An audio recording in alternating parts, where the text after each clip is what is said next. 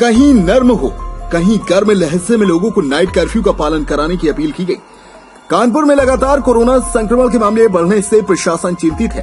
संक्रमण को कम करने की हर कवायद पुलिस व प्रशासन कर रही है। गुरुवार को सनीगवा चौकी प्रभारी ने रात आठ बजे लाउड स्पीकर के माध्यम से दुकानदारों व क्षेत्रीय लोगों को संदेश दिया कि नाइट कर्फ्यू को प्रभावी ढंग से लागू कर दिया गया है। कानपुर जिलाधिकारी महोदय ने रात्रि 10 बजे की जगह रात्रि आठ बजे से सुबह सात बजे तक कर्फ्यू लगाने के आदेश दिए हैं।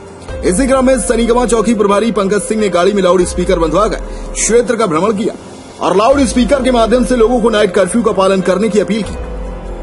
आवश्यकता अनुसार कहीं नर्म तो कहीं गर्म लहजे में सनीगवा चौकी प्रभारी पंकज सिंह ने लोगों को समझाया कि नाइट कर्फ्यू प्रभावी रूप से लागू कर दिया गया है। सभी लोग अपने घरों में रहें। अनावश्यक अपने घरों से बाहर न निकले। लोगों से कोविड नियमों का पालन करने की भी अपील की। सनीगवा चौकी सीमा क्षेत्र के अन्ना चौराहा Sanigawan Kashiram colony double storey व अन्य जगहों पर लाउड स्पीकर बंधी गाड़ी के माध्यम से नाइट कर्फ्यू का पालन करने की अपील की गई। शिवम माथुर की रिपोर्ट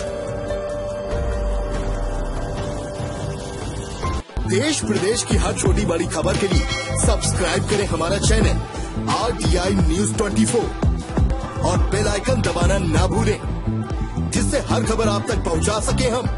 सबसे पहले